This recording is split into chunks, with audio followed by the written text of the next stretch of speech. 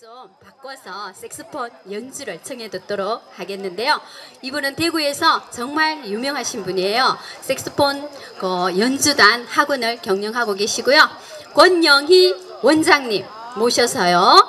내 나이가 어때서 찔레꽃 두 곡 연주를 청해 듣도록 하겠습니다. 여러분 함령의 박수 주십시오.